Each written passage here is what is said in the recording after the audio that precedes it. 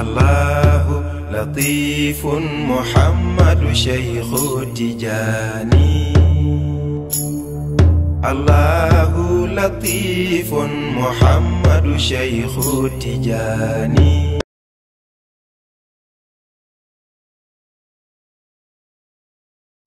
أعوذ بالله من الشيطان الرجيم. بسم الله الرحمن الرحيم.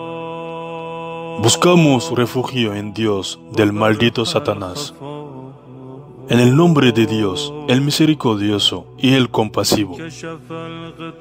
Alabamos, glorificamos y damos también gracias a Dios, el Todopoderoso, el Señor y Creador del universo. Rezamos siempre por su profeta, el mejor de los seres por excelencia, el origen y la causa de la creación, el profeta Mahoma, sallallahu alaihi wasallam, paz y salvación sobre él. Mostramos nuestro reconocimiento interno y gratitud al gran pueblo de todos los tiempos. El intermedio entre el profeta y los otros profetas y santos. Maulaya Sheikh Ahmed ibn Muhammad al-Tijani Sharif, radiyallahu ta'ala anhu. Mostramos de manera interna a nuestro maestro y guía espiritual, el hijo espiritual de Maulaya Sheikh Ahmed al-Tijani, el califa de Dios, del profeta y de Sheikh Tijani, الخطب الأكتاب الكبير والإمام المهدي المنتظر يا مولاي سيدي محمد الشيخ ابن محمد ابن أحمد التيجاني شريف رضي الله تعالى عنه Hoy vamos a compartir con ustedes los misterios del lazim, tal como nos lo enseña también la Tarija Tijanía. El lazim es un pilar fundamental en la Tarija Tijanía. Pero lo que nos interesa hoy son los misterios, las realidades y también la organización mística que tienen en lugar cuando el discípulo realiza su lazim, desde el principio hasta el final. Cuando el discípulo empieza su lazim, una vez que recita al Surat al-Fatiha, un ángel del mundo ghaib, llamado mundo invisible, viene bajo la autorización de Moulay Sheikh Ahmad Tijani y trae con él un vaso de luz que va a vertir en el alma del discípulo.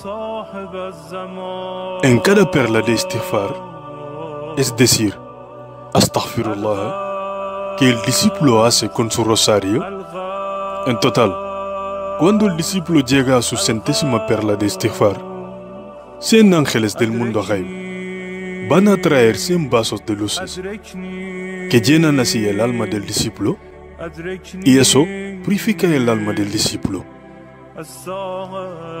Cuando el discípulo pasa a la segunda fase de su zikr de Salatul Fatiha, para cada perla de Salatul Fatiha recitada, un grupo de mil ángeles procedentes del mundo ghaib vienen bajo la autorización de Maulaya Sheikh Ahmad Tijani, rodean el discípulo y cada uno de ellos recitando el Salatul Fatiha. Inmediatamente se convierte en luz y penetra en el alma del discípulo.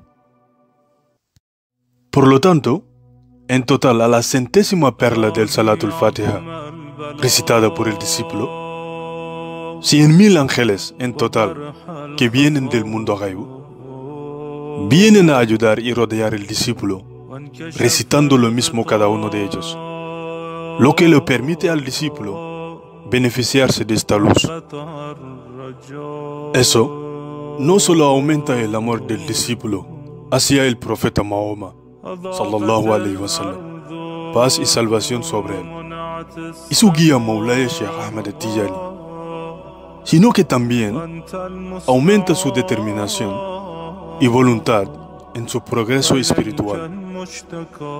Finalmente, la tercera y última fase del zikr de la ilaha illallah, cada perla de la ilaha illallah recitada por el discípulo, mil ángeles del mundo ghaib certifican a Dios que el discípulo testifica con certeza la singularidad de Dios.